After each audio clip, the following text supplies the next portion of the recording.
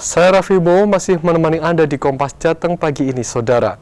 Bermula dari hobi memelihara kelinci, seorang karyawan swasta di kota Semarang kini berhasil menekuni usaha peternakan kelinci yang ia buat di rumahnya. Berawal dari sepasang kelinci yang dipelihara, sekarang berhasil mengembangkan menjadi puluhan ekor kelinci yang terdiri dari indukan dan anak sapihan. Di pekarangan depan rumahnya di Jalan Perum Sekar Gading, Blok A5, Kelurahan Kalisegoro, Gunung Pati, Kota Semarang, Yuda menyibukkan diri mengurusi kelinci-kelinci peliharaannya di sela-sela waktu bekerja. Tanpa pengetahuan dasar tentang cara beternak kelinci, Yuda belajar secara otodidak melalui internet untuk memahami cara memelihara kelinci dengan baik dan benar.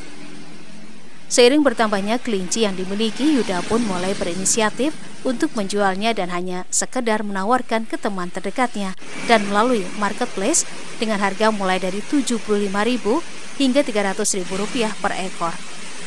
Ia pun memilih mengembangkan kelinci jenis New Zealand atau NZ karena dinilai fleksibel, jadi bisa digunakan sebagai kelinci hias dan juga bisa dikonsumsi dagingnya.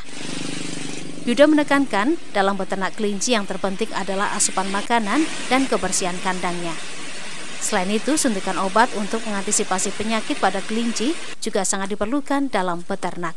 Saya pelihara kelinci memang udah lama ya, memang hobi. Satu lucu, lama-lama awalnya juga satu dua gitu aja, terus lama-lama kok saya lihat beberapa YouTube, ada Facebook kok ternyata bisa diternakkan dengan mudah. Ya nggak mudah-mudah banget. Kalau repotnya enggak ya.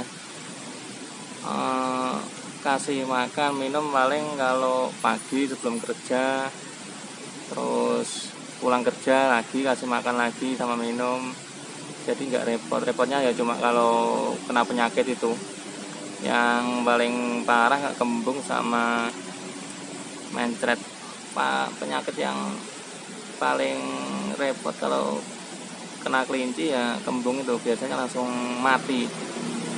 Kalau nggak cepat ditangani kelinci bisa mati. Ntar kalau kendala yaitu paling kalau kembung pas sakit lah sama gudik gudik itu walaupun kandang sudah bersih ya tetap aja kelinci kena tinggal disuntik aja suntik nanti rontok sendiri Menurut sejumlah literasi yang diperolehnya dari berbagai sumber, bagi Anda yang ingin mengkonsumsi daging kelinci jangan khawatir dan takut karena selain enak, daging kelinci juga rendah kolesterol. Sehingga warga yang takut mengkonsumsi daging sapi atau kambing, daging kelinci bisa menjadi alternatifnya. Prahyuda Febrianto, Kompas TV, Semarang, Jawa Tengah.